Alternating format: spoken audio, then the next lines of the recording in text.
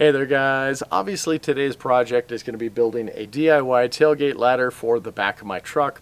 Not necessarily something I plan on using on a daily basis, but for those times where I am loading up for a camping trip and I'm getting in and out of the truck many times, I think it'll be nice and useful. And I'm sure some of you are going to refer to this as an old man project, and perhaps it is, but I can assure you I can still climb in and out of that truck without the use of a ladder, at least for a few more months until these old bones decide to give out. And when they do, you can have the pleasure of watching me weld up a walker or a wheelchair to continue living the life I like to live. So anyway, I'm going to do the build. I'll talk about uh, the costs, if it's even worth it to do something like this. And if you stay to the end, I'll tell you about a giveaway that I'm doing in partnership with Forney Industries. They are the company that makes the welder and a lot of the other metalworking equipment that I use. Uh, so anyway, let's get to it.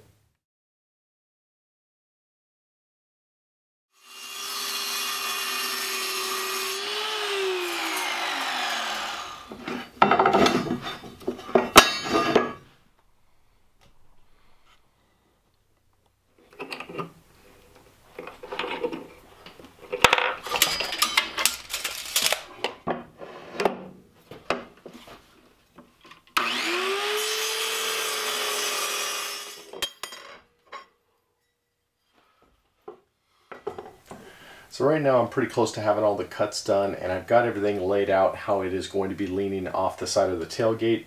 Down here are the bottoms of the legs and I had cut those at 22 and a half degrees and then I've got my first, second, and third step.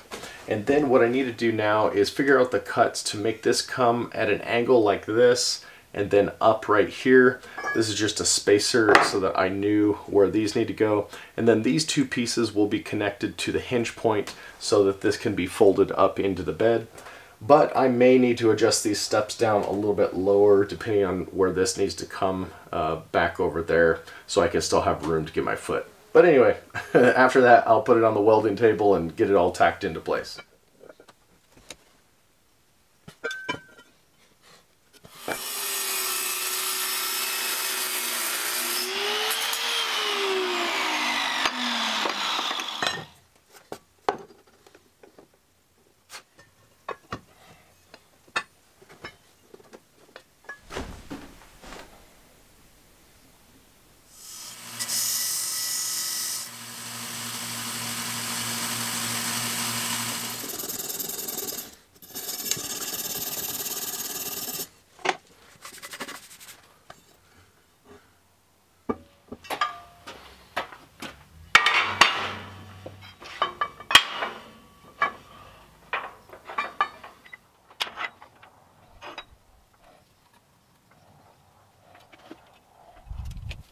So I've got everything clamped down and ready to tack into place. And I'll be honest this was probably the most difficult part of this whole project so far. And that is because each of these steps I tried to put that same 22 and a half degree angle that I have on the bottom of the legs so they can be relatively flat when I step up into the tailgate. And I squared it basically every way I could. So right now I'm going to get the spool gun and I'm going to tack these. And I'm starting on this side because this is going to be the bottom side so if some of my settings are off it shouldn't matter I can get them dialed in before I do the top side.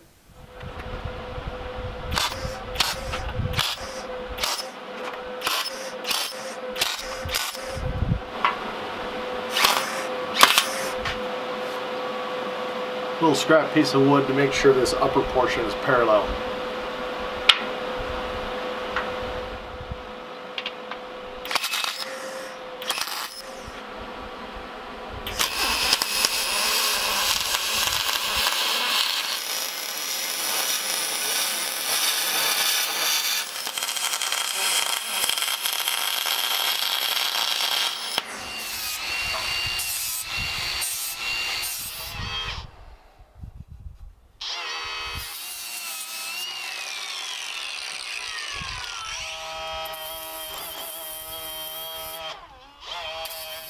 And a real quick segue before I get to the finer details of this ladder project. I wanted to show you guys my new welder from Forney. This is the 220MP, which stands for multi-process, and it is the updated version of my previous welder, which was the 190 MP that you've seen on quite a few projects. Anyway, this is going to be the new main welder, and I will probably still keep that one, but I might just dedicate it to like stick welding or something like that. That way I don't have to switch uh, everything around. Uh, but anyway, I am just taking the spool gun off of it, and uh, it's a pretty awesome welder. It's got all the same features as the previous one. Uh, one of my favorite things is this little guide on the inside of the lid. Kind of gives you all the different scenarios you might use in this and the general uh, settings of which to start on. But that is pretty much it. And let's get back to the project.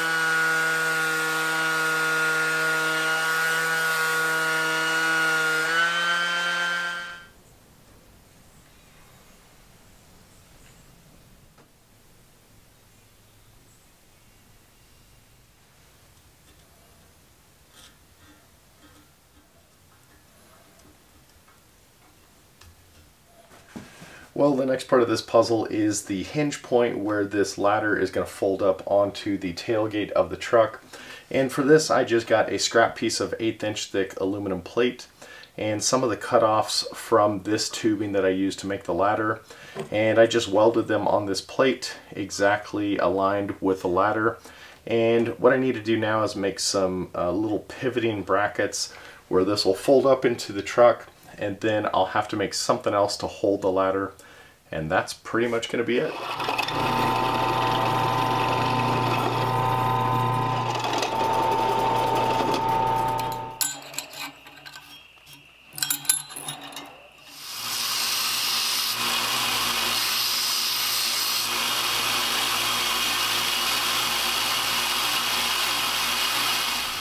So right now I'm trying to secure this plate to the tailgate and I pre-drilled all my holes and I've got some stainless steel machine screws with some stainless steel washers. That way this aluminum doesn't uh, interact with uh, the steel of the truck bed. And to get access with my little lock nuts I simply taped a wrench on this little piece of scrap tubing and I insert it there and line it up just like that.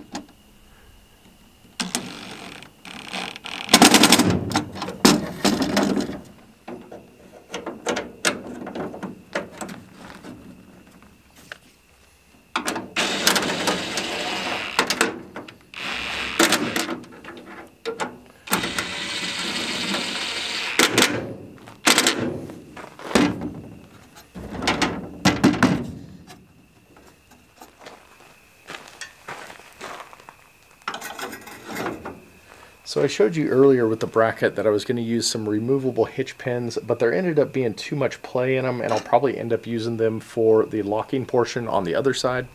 So I have instead switched to these little adjustable hitch pins, and I think they are going to end up working a lot better. That way I can get a tighter fit right around this piece of aluminum in the bracket.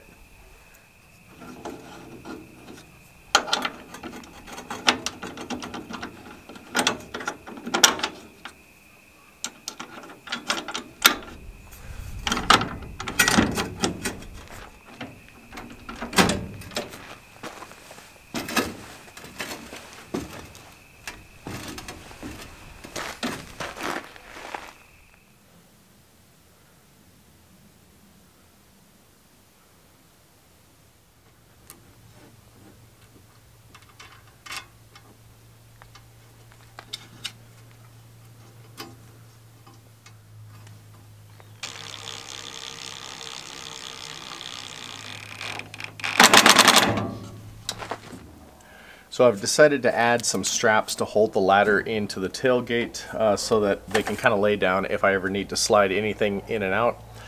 And I got this one on, I'm just using some standard hardware, but this one is, is in such a tight little spot. I've got my little hands helper to put the nut in there right now.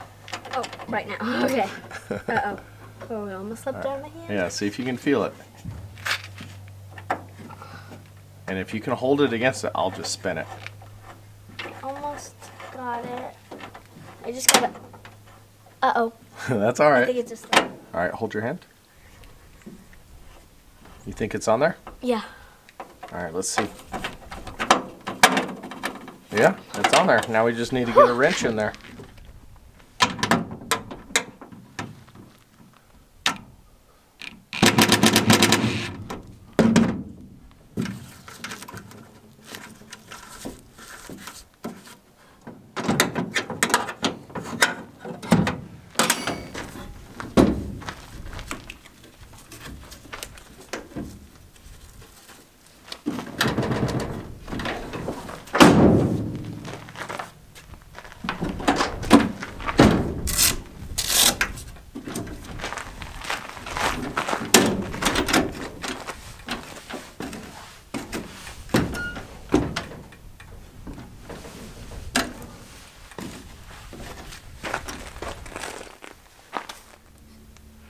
So I think that is pretty much going to conclude the build portion of this video. As always, I hope you found it entertaining and perhaps it gave you some ideas. If nothing more than to simply decide to buy a pre-made ladder than to build one because it did take some effort. And on that note, I'm sure some of you are going to ask, um, if it is simply worth it to build a ladder like this uh, versus just buying one off the internet. Well, I can say the materials of the aluminum tubing cost me about 30 bucks. The uh, hardware and all the kind of things like that cost me about $25 and the grip tape I think was about 10 or 15 bucks. So when it comes out to cost, the actual uh, cost that I uh, spent for all the materials, um, it's about the same as like, you know, maybe some of the entry level ladders. So you can clearly just buy one and save yourself a couple of days of working on a project. But if you're like me, I simply enjoy building stuff. I enjoy the process of problem solving and figuring the angles and different things like that. Um, clearly this one is not 100% my design. I basically mimicked a lot of the designs that I've seen online uh, with the little uh, notched out section to account for the tailgate uh, support wire or support cable. But anyway, it's really just a matter of me enjoying building stuff uh, as well as continuing to further my skills because, you know, let's be frank, I don't know what uh, the future has in store, and I would rather know more in my mind today for who knows what is to come in the future. As for the giveaway, if you guys are interested, I think this is going to be done on mine and Forney Industries Instagram page. Uh, but I will put all of the details either down below in the screen or in the description. But it's going to be for an awesome welding helmet, welding gloves, uh, sanding uh, wheels, uh, like the flap disc wheels that you see me uh, do a lot of the blending on my metal projects.